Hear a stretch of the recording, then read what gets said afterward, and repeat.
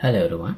So today we are going to look into how to save the location of the player when we save the game and then when we replay the game the game will be start from the last location the player was in when the game was saved. So to demonstrate that here I have added a checkpoint over here that saves the game. So when I don't have a save file the character starts from here. But when the game when I go here the game is saved. So we got the game saved pop up so now if I stop the game and play again now instead of starting the character over there the game is started from here. So saving and loading character player characters location and rotation. That's what we are going to look into today.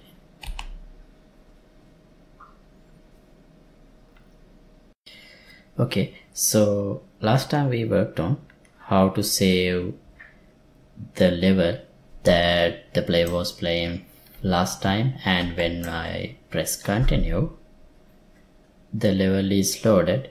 The last level is loaded that the, the player was playing so let me show that. So here we have this new game and continue button. If I press continue I guess I was playing this demo level. So that is loaded. So the next thing I want to do is how to save the player data within within the level. So let's do that implement the system in this demo level. So what I want to do is let's say if I am saving yeah I am saving the game in this checkpoint next time when I start instead of starting from the very beginning uh, the game should start from whatever the location the player was last saved.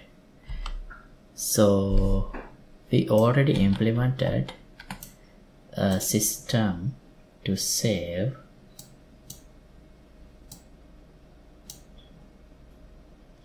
this save on trigger.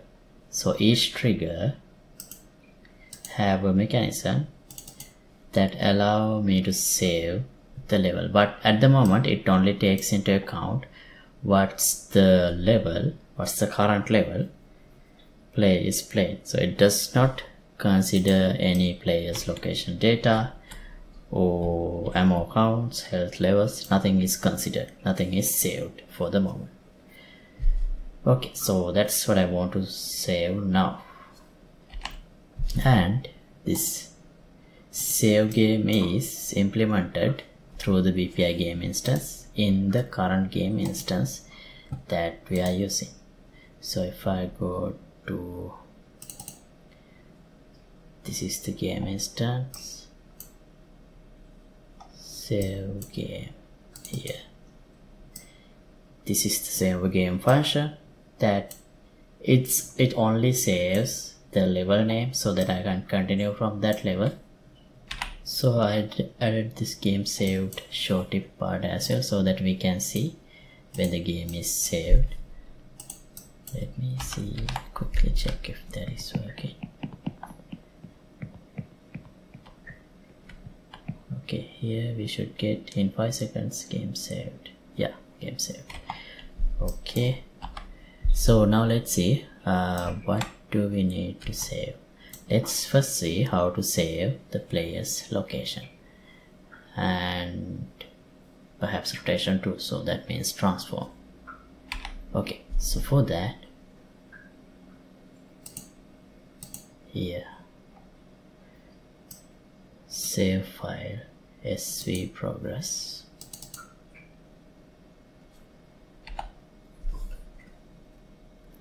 I'll add a function.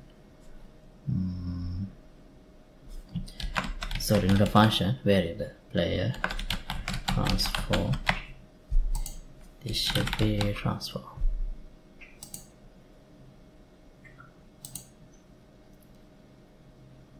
Okay now when I save mm. let's get some space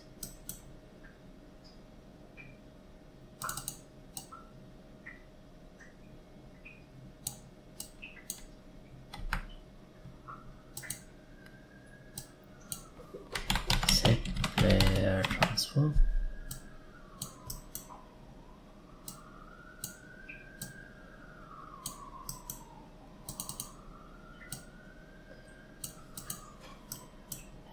the player transform we can access get player character. Get character transform.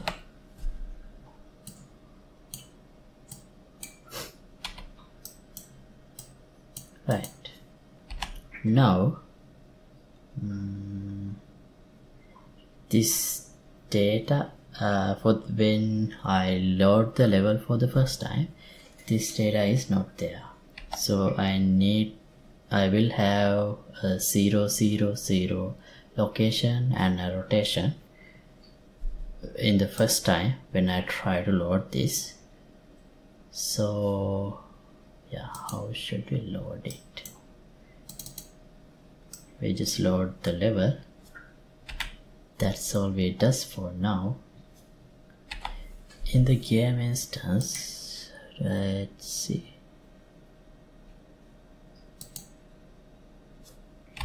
Let me open the interface. We are not really using this plant manager stuff.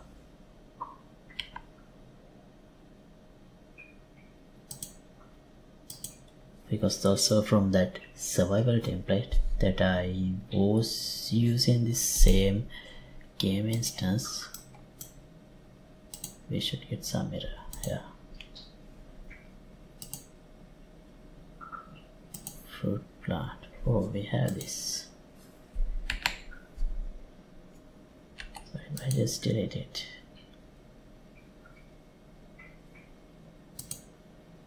Right now it's fine. Because I don't really need that. Okay now we need a way to get the player's location into the player character and um, move the player character into the last saved location. Okay. So for that let's add a function. Get player data Mm, to be more descriptive.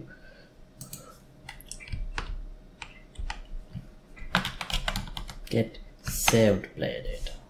So what are the things we need to save and load? For first as the first item I know that I need to save and load the location. Then we would need to save and load weapon data and perhaps health grenade count. So we would really need all those things so let's define some data structure. Wait no. Data structures sometimes has given me bugs. So let's just get the transform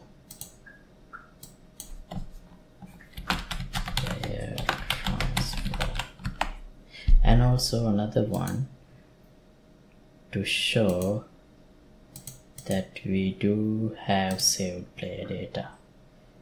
So data available. Okay. This two should be enough for now. So now when we save we need to set this value also to true. And also we need to have this value also in our save progress. So what's the name I used? Save data. Now let's say player data.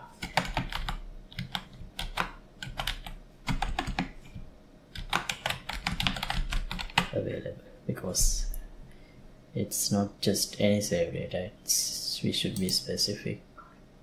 So uh,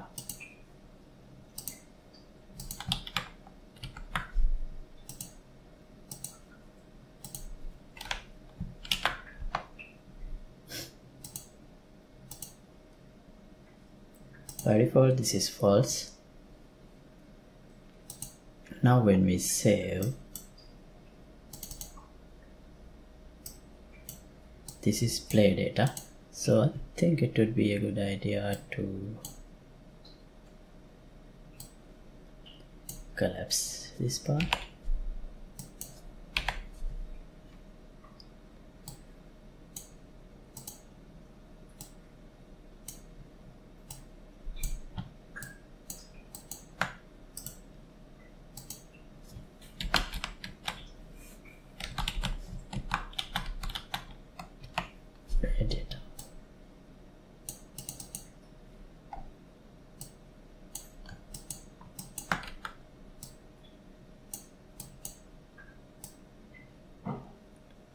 okay.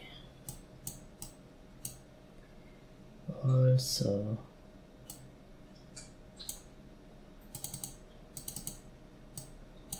set save set player data available as true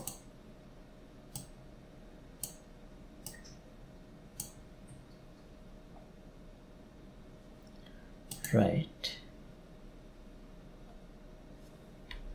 now we need another function. Oh no we already have. Git save player data. So we need to implement this.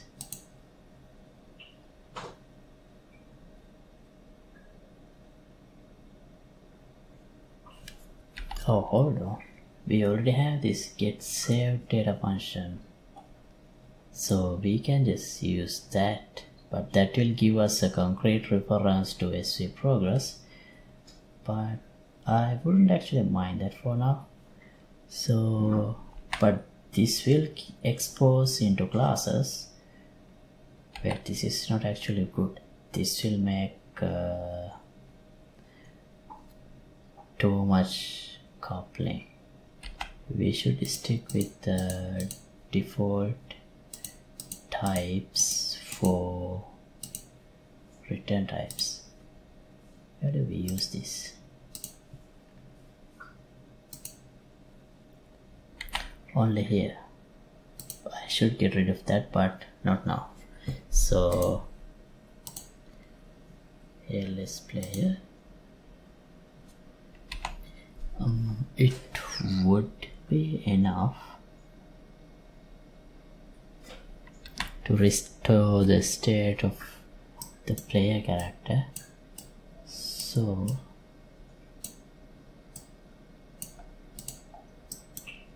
I'll add a function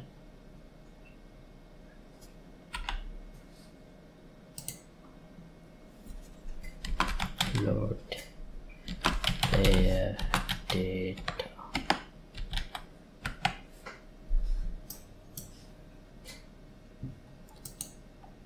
and I'll call it before updating this grenade count or mine counts. So load player data here. At the moment we are not saving and loading grenade count or mine count so it wouldn't matter anyway. So now here get game instance. Get player oh, uh, ah, get saved player data. And if the data is available we need to set vector location and rotation. Scale doesn't matter here even though we have in the transform. I'm not really changing the scale of characters now this should uh, move the character to the place where the game was sa saved. Now even if I play it even if I have a save file the character is not moved here because at the time I was making the save file uh, we didn't have the player data now when I move here and after saving. Saved. Okay if I stop and play now if everything is working correctly I my character should move here.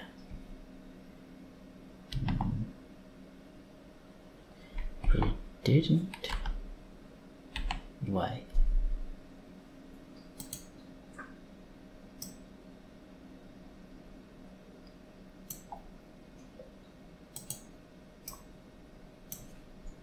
alright I didn't implement this yet. So we can use this um, validated get and get player data available and get player transfer and return it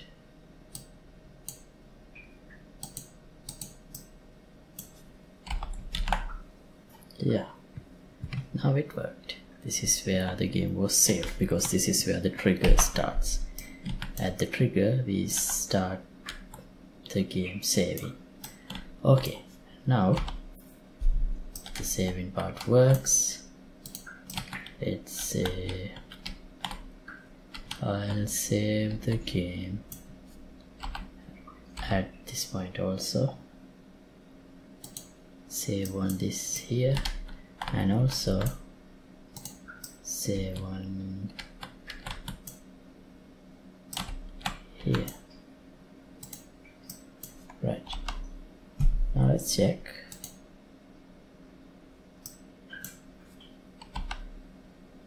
Oh wait.